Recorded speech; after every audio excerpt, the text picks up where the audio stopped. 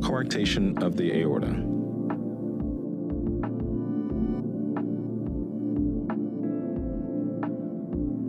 Coarctation of the aorta refers to a narrowing of the main blood vessel carrying oxygen rich blood from the heart to the body.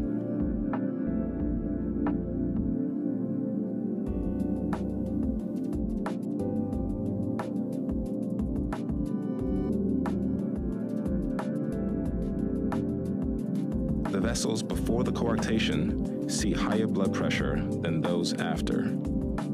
Coarctation can sometimes be detected by differences in the blood pressure in the arms and legs.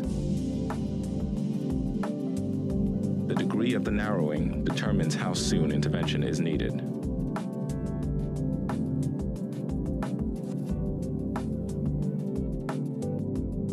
Severe coarctation of the aorta is often found in the first few weeks of life.